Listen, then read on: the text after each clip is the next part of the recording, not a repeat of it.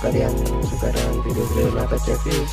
Jangan lupa didukung ya bro dengan klik subscribe dan lonceng juga like share dan komen. Makasih ya bro.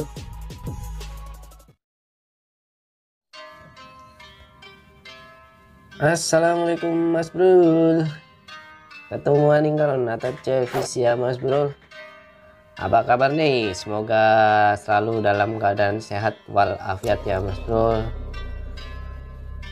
Oh ya mas bro ngomong-ngomong dalam kegiatan mancing banyak hal yang dapat mempengaruhi keberhasilan dalam memancing.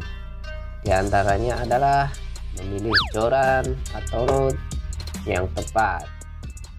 Reel yang nyaman untuk dipakai dan juga pemilihan umpan yang tepat sehingga mampu menargetkan ikan apa yang mau kita pancing. Selain dari hal-hal tersebut ada juga faktor yang lain yang mempengaruhi keberhasilan dalam memancing terutama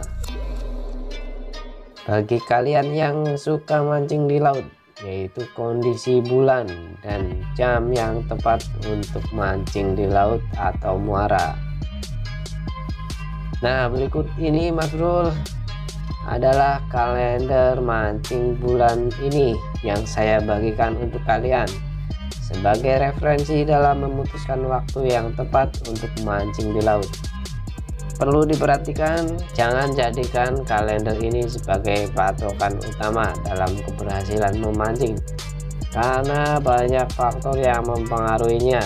Yang utama adalah keberuntungan monggo dipantengin kalender mancing bulan ini. Semoga bermanfaat dan berguna buat kalian dan bisa menjadi ancang-ancang buat kalian untuk menentukan waktu yang tepat dalam mancing di laut atau di muara.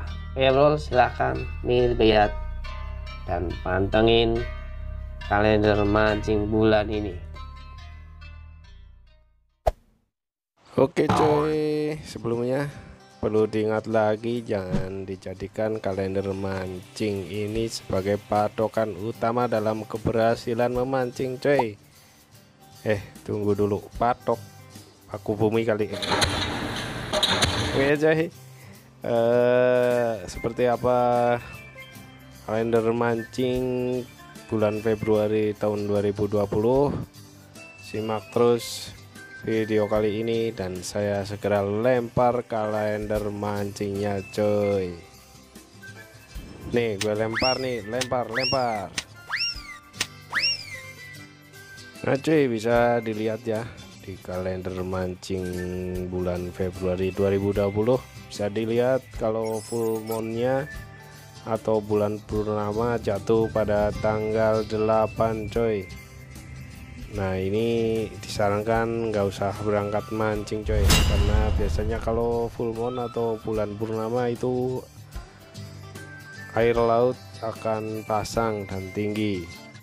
Dan untuk waktu cukup bagus untuk mancing plus satu. Bisa dilihat ya tanggal 4 jam pasang itu ada harus sorong plus satu kemudian bagus untuk mancing atau plus 2 dengan tanda plus 2 itu tang jatuh pada tanggal 5 coy Nah sedangkan paling bagus untuk mancing itu jatuh pada tanggal 6 dengan tanda plus 3 coy ya kalau kalian mancing ya di tanggal-tanggal berikut ya coy supaya siapa tahu dapat uh, keberuntungan di waktu yang tepat seperti itu bro ya bro sesuai, sesuaikan juga dengan musim angin ombak daerah lokal lokasi mancing dan suhu airnya ya coy.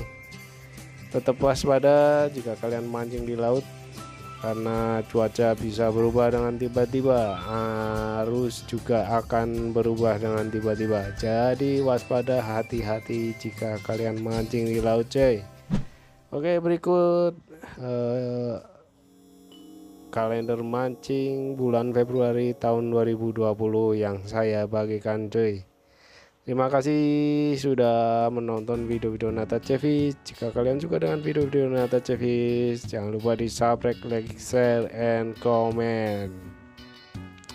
Sampai jumpa di episode mancing berikutnya ya coy. Semoga keberuntungan menyertai kalian semua. Oke, thank you and bye bye. Sampai jumpa.